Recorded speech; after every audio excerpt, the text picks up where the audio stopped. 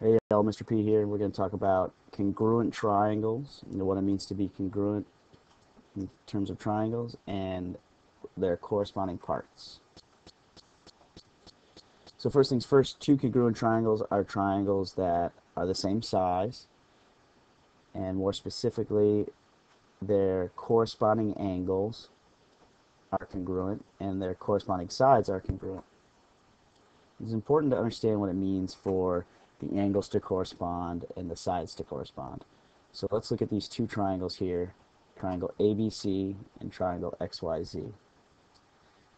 The easiest way to know if two things correspond in triangles that are congruent, so I know they're congruent because that's what I told y'all. The easiest way to know which angles correspond is to look at the names of the triangles. So triangle ABC starts with A. Triangle XYZ starts with x.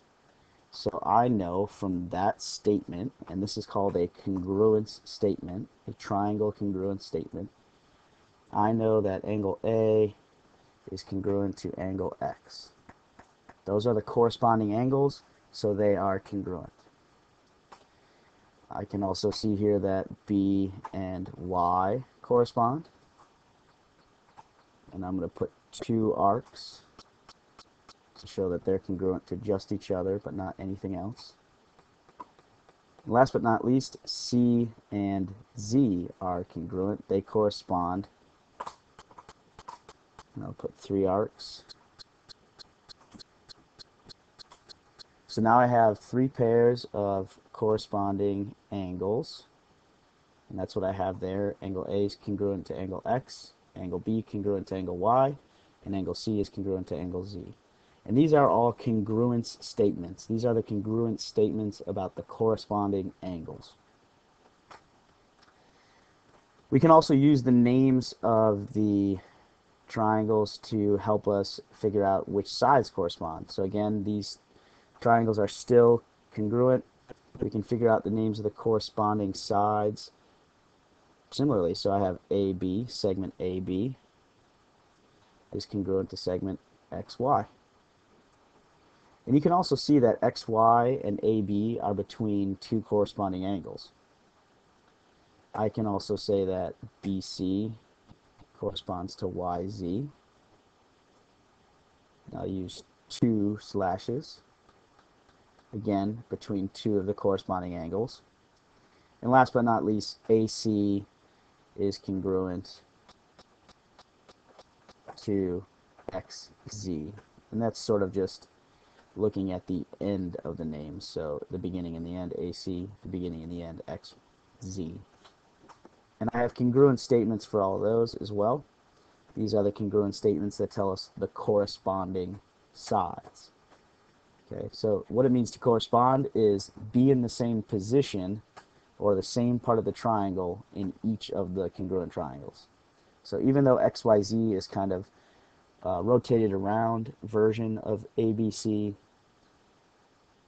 they can be congruent. They have corresponding angles that are congruent and corresponding sides that are congruent. So if we're given, if we're told, that's what it means to be given. So if we say given, that means we're told and we know that two triangles are congruent. So OPQ, triangle OPQ is congruent to triangle TUV. We want to write the or label the parts that are congruent and write all the congruent statements. So we want to write the congruent statements for the angles and the sides. So we can do that the same as I just showed you. O corresponds to T, P corresponds to U,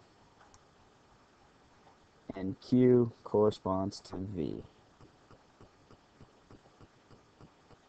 And it's almost easier to just mark up the pictures before I even write the congruent statements. So now I have that all taken care of. Those are my congruent statements.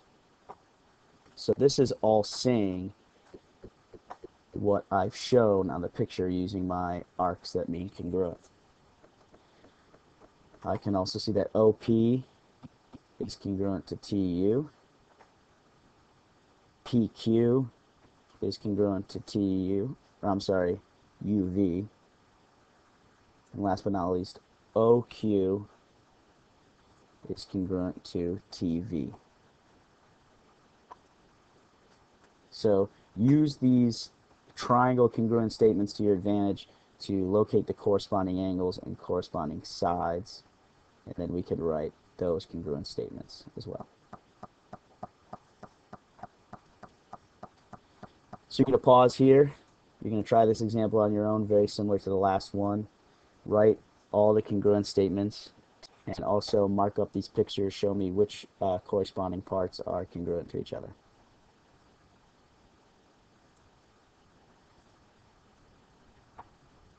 So as I did in the last two, L congruent to P, M congruent to R, you gotta find R, and N is congruent to S, and as far as the sides go, LM congruent to PR, MN is congruent to RS, and these other ln is congruent to ps. And I'll show you my statements here so you can follow along. Check your answers.